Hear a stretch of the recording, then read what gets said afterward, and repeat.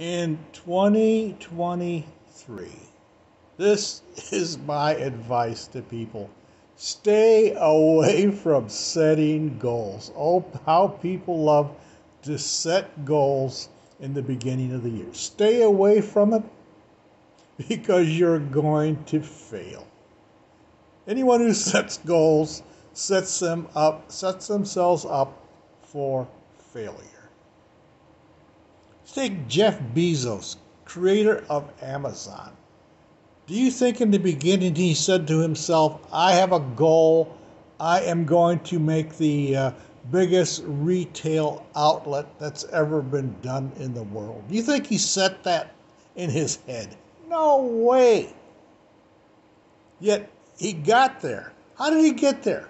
He got there step by step.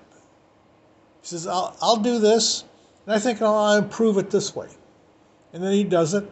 He says, I think I'm going to improve it this way, step by step, without ever having a goal.